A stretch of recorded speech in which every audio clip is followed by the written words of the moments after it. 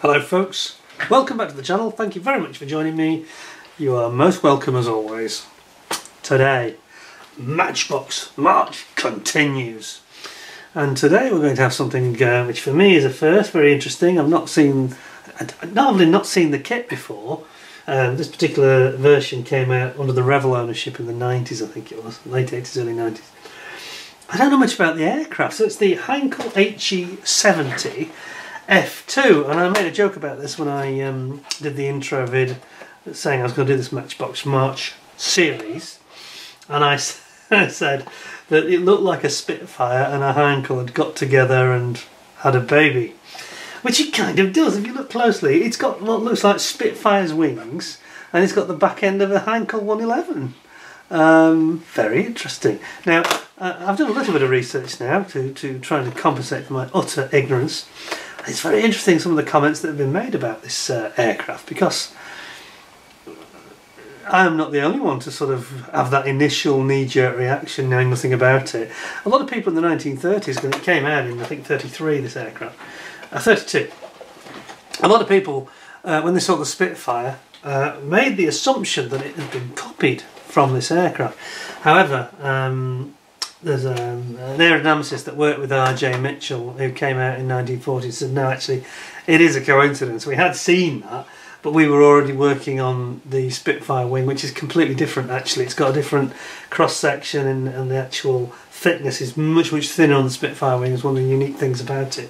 Whereas this has got quite a thick uh, elliptical wing. It's just a, it's just in plan view. It looks a bit like a Spitfire wing. And the back end is classic Heinkel you know Anyway, um, it, came, it came out in 1932, this plane, and it was intended as um, basically a high-speed transport aircraft, so almost like an early days version of an executive jet, you might think of it in those terms, for transporting company executives, and of course then they had the Nazi party came along. Some of their high-ups used to fly around in them because it was very fast. It was, um, and by the way, you'll see in a moment that on the packaging, it's all in German and other languages, not very helpfully, to be honest. Um, but it basically had a top speed of 415 kilometres an hour um, and it used to fly about 3,400 metre height, so that's 10,000 feet maximum ceiling. So it was like a high speed transport plane. It was used as a mail aircraft as well. Uh, it's in the Lufthansa colours here because they used to transport their executives around as well in it. It's quite an interesting plane and I want to know more, I'm sure you do too. So let's have a quick butchers at the box then. So, zoom you in. So it is, uh, I was going to say PK, but it's not, of course it's got a Revell reference. So the actual kit reference is 40132, and I said 23 there, 40132.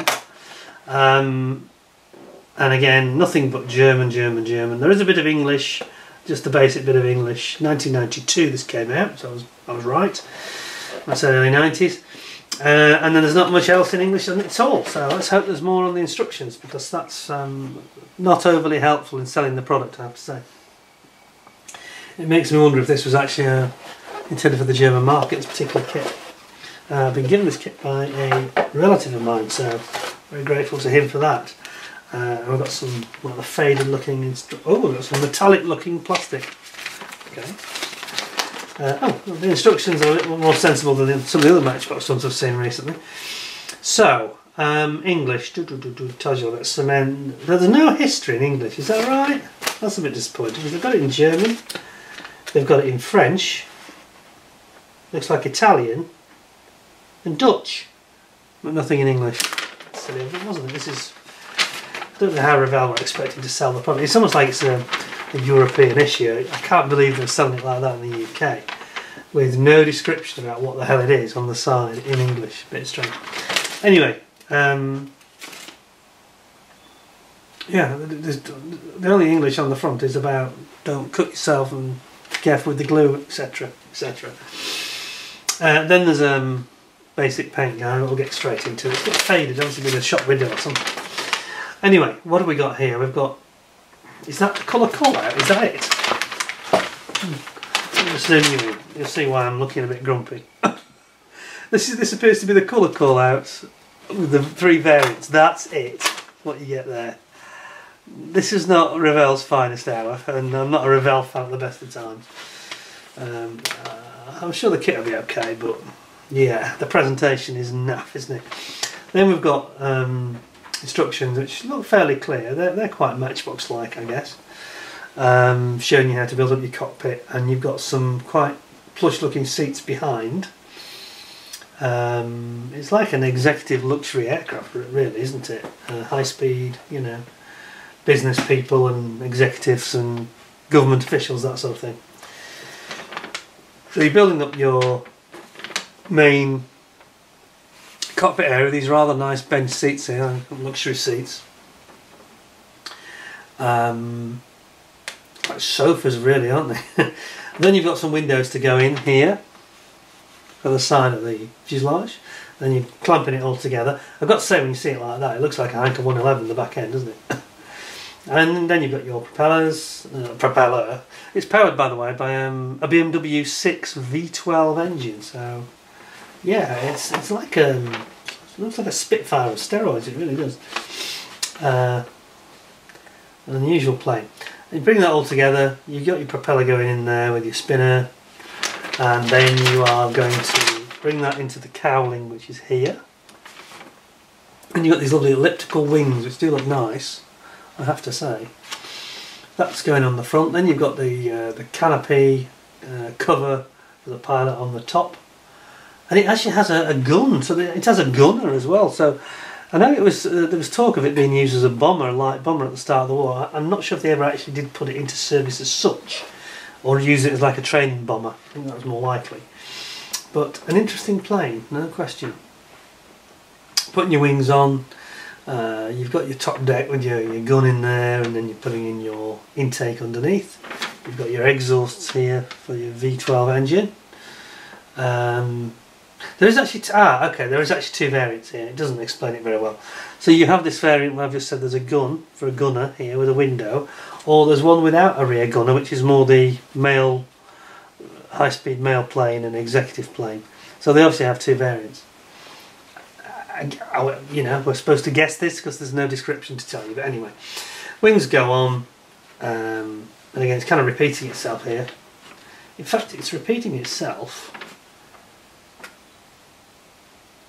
It's repeating itself twice because there's two. Okay, there's two different engine versions. God, it's not really explaining itself. Okay, if we go back to the beginning, let's just rewind.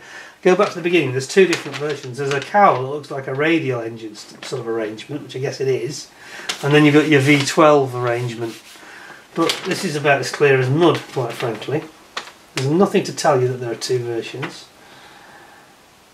Make a hole, you know. Well, what size? That's not very helpful either. Um, Revell weren't good, were they, in the early 90s? I've got to be honest. Um, I cannot help believe that Matchbox's instructions would have been better than this. There'd have been more information, more detail and more clarity. Anyway, so yeah, so you've got two versions of the canopy and you've got two versions of the engine and it doesn't explain any of that anywhere. You're just going to have to find out for yourself and then eventually put your wings on. Then your gear goes in here and then finally the wheels, gear going in, main wheels and covers if you want to keep them shut. Then we get here a little bit more of a sort of call out data for the Lufthansa version I think it is. Again, nothing explained, there's no writing to tell you what they are and then it even, jeez, this is such a bad concept. Um, this this looks, looks like a prototype of a set of instructions, doesn't it? That someone needs to come in and say, right, we put here, this is the Italian version, da da da da. Uh, it's Spanish, isn't it, I think? Alright. Spanish National Air Force, yeah. Um, but just such a hodgepodge of data all over the place. And why, why did they put... Why didn't they put this at the beginning? That would have been far more sensible. Saying, there are three variants, there are two variants of engine, etc, etc. Anyway. So here we've got the, is that the Italian version this time?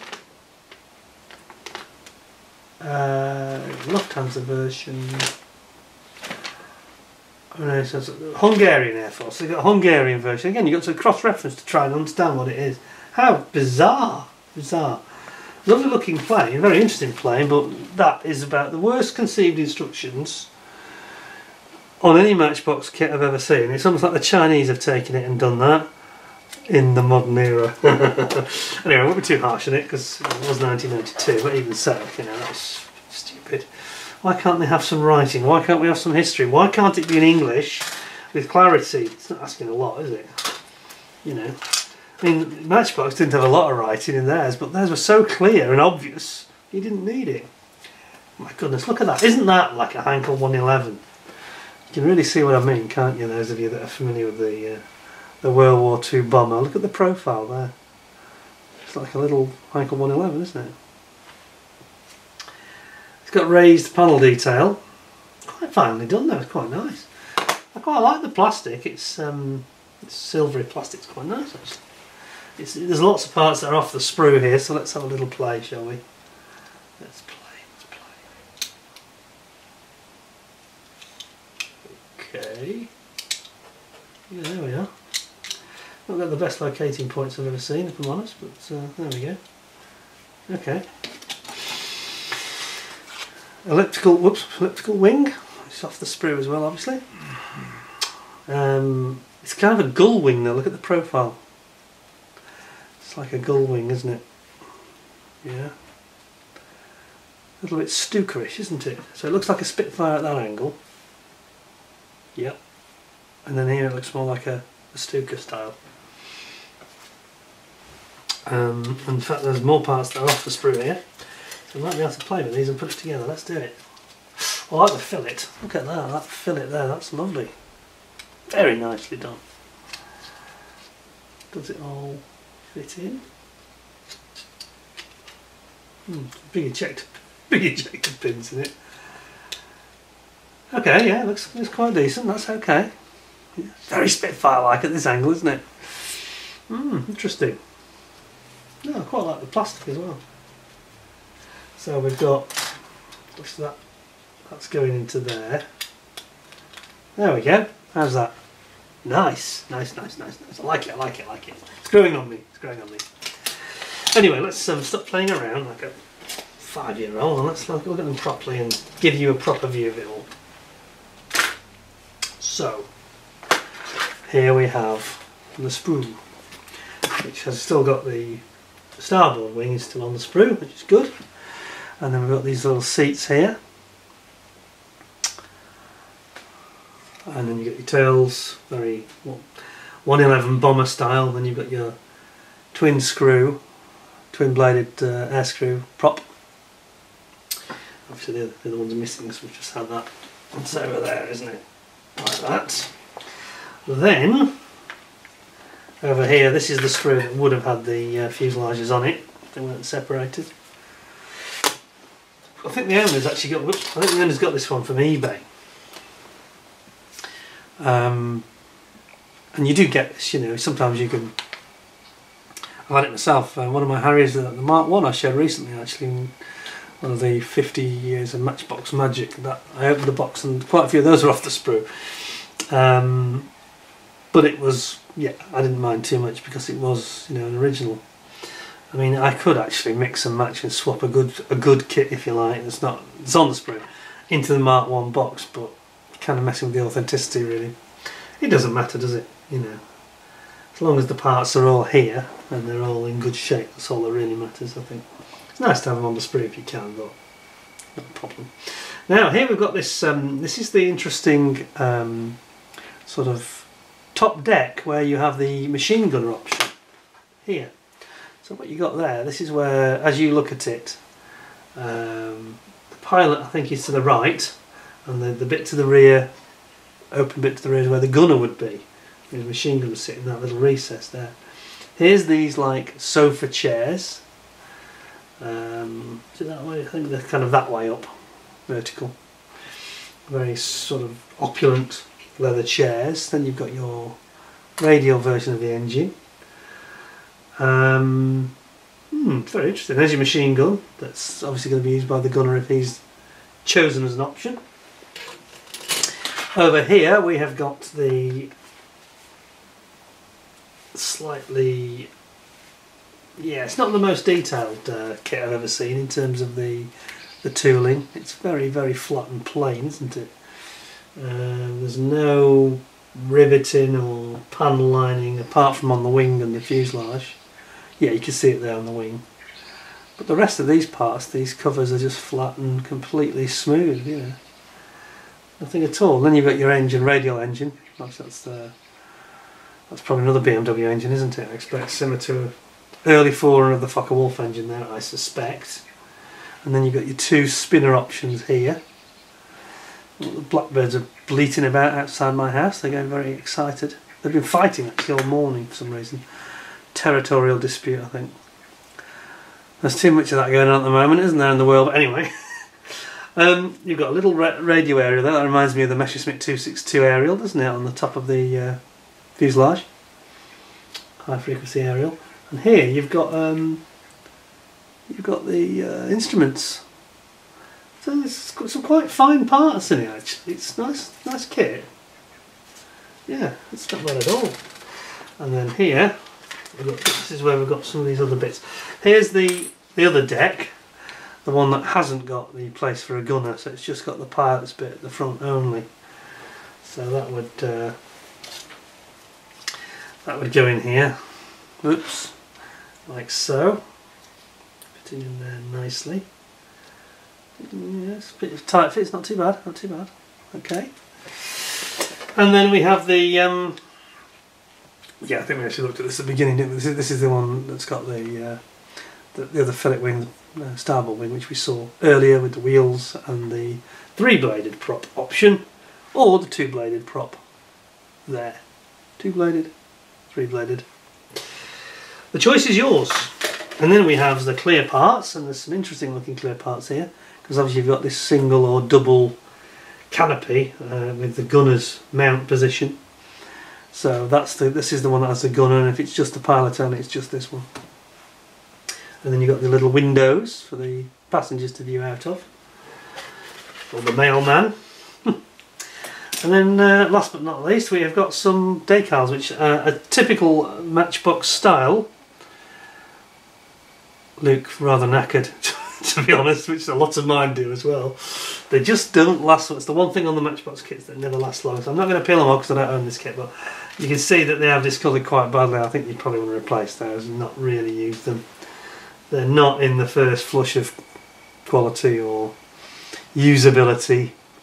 It's kind of a shame because you get like a, a decal which goes across here, as you can see. This is for the, where the windows are. So you get like a decal which is going to give that sort of Lufthansa logo bit. Yeah, I won't peel them off. We'll try and maintain them in their original condition as much as possible. Uh, and you've got some Spanish and some uh, very odd looking Hungarian ones there with the Hungarian flag.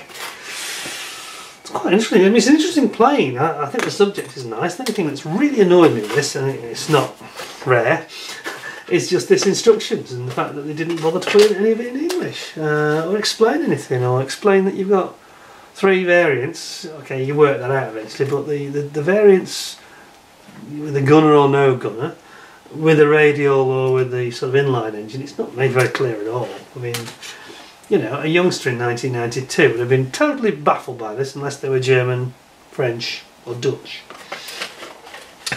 which they seem to have catered for. So I'm thinking it's like an export market, European only spec kits. But there we go, it's an interesting aeroplane. It's quite a pretty looking plane. Got to say, I quite like it. It's nice, something different. And it's certainly an interesting subject to have for Matchbox. Just a shame Matchbox didn't get it out before Revell messed it up. Which is what they've kind of done. And this is what they do, you know, they Revell are not, not known for their instruction quality, you know, you look at some of their other 90s from this era of their own, nothing to do with Matchbox. I mean, I had the 32nd scale Tornado, I actually had three or four editions of that, copies of it. And I sold them all in the end because I just looked at it and thought, oh, these instructions were just so nasty. Plastic wasn't great either. This was not a good time for them. Not a good time. But I guess like Matchbox who had gone bust and Airfix who were going bust but got saved by first of all Humbrol uh, and then of course it was uh, Hornby who finally saved them. Uh, Revell were the same, they were struggling a lot in the 90s. The sales were down, But they weren't helping their case when they're doing packaging like this, you know. Nothing at all on here, if you speak English, is understandable. Oh no, it's my fault. It's the way they've done it. Actually, it is in English, it's in the second. Okay, I'm going to have to apologise to Revell a little bit here. Humble pie time. They've done it in the second column. Why can't they just put, you know, Deutsch, English, like they do on the instructions? It's all, it says Deutsch, English, French. It's actually just in with the Dutch and the French. It, okay, so we'll, we'll try again. Okay, I'll hold my hand up and apologise, I made a mistake. The AT Transport plane, which Messrs Heinkel built for Lufthansa German Airlines, which was introduced in service in 1934, first took to the air in 1932. Luftwaffe commissioned a light bomber version which was subsequently used in the Spanish Civil War. Ah, okay. The maximum speed was 360 kilometres an hour at 1,000 metres. 360 miles an hour, I'm pretty sure they mean, don't they? Oh no. They go on to say, fitted with a radial engine, the machine's type designation had a speed of 415 kilometres an hour with 3,400 metres altitude. It doesn't, it's not explaining this well. I, am kind of right in the end. Because what it means is when it was fitted with an inline engine, then its speed went up to 415 miles an hour. Okay. And then it had a, uh, it could go up to 3,400 metres, 10,000 feet. So that's what they mean to say. But they haven't actually said that. It's just gibberish, really. Fitted with a radial engine, the machine's... Uh, okay, a little bit confusing that. Anyway, marks out of 10. I think it's just uh, very poorly presented. Um, and, and, inside, I am right because it doesn't explain that this is your radial engine, or this, you know, and this is option one for the Spanish Civil War. It doesn't say that. It's just you just left to start guessing like a guessing game. Not uncommon. Not uncommon even today. You know, manufacturers just need to understand. I mean, whether it's 1992 or 2022 you need to be clear and communicate what the product is supposed to be about and if there are different variants you need you know the the constructor or the user needs to understand what you're driving at. And if you don't put it in the instructions it will be really hard to follow. Anyway I don't be too harsh because I did make a mistake there. I missed the fact that they'd actually written it. They just didn't give you any clue you know. Normally on the on the inside they actually label it English French Italian. Here it's just it's sort of in amongst the French and if you just don't look at it that's my glasses need cleaning. Anyway it's a nice kit. I thought the actual plastic was nice. Um, it's a very interesting subject a very interesting aeroplane unusual so I'm going to give it 8 out of 10 I think that's kind of fair. I think the instructions are a bit of a mess, to be honest. Um, but the kit's alright. And uh, yeah, very interesting subject indeed. And thank you for sending that to me, uh, to the owner. Thank you very much. Appreciate that. Um, don't hesitate to send any more if you've got any more. Um, whether you want the back or not, don't mind either way. Uh, I'm happy to return stuff always. So that is a very interesting kit. We're going to have another one coming up. We're going to have the uh, the Vickers Wellesley, which is another interesting and another unusual looking plane, uh, coming very very soon. I hope you thought it was interesting today. Uh, everybody enjoys it when they watch me make a botch of things, so you know I can take it. I'm a big boy. and next time I'll put my better glasses on. I think. Anyway, I hope you enjoyed it. I thought it was entertaining and interesting. Please give us a thumbs up, even though I did make a botch. Not as bad a botch as what Revell did with the instructions, but anyway. Um, please come back and don't forget to subscribe to the channel if you haven't already. And if you have, don't forget to ding that notification bell. Smash that like button, as they say, with a thumbs up. And I hope to be back to you very, very soon. I say we've got the Vickers Wellesley, we've got some other interesting Matchbox related memorabilia and Airfix memorabilia to have a look at very very soon. Watch this space. We'll be along very very shortly with that. In the meantime, please all look after yourselves. Take care. Thanks a lot. And bye for now. I screwed up today, didn't I? But it's good for a laugh. Bye bye.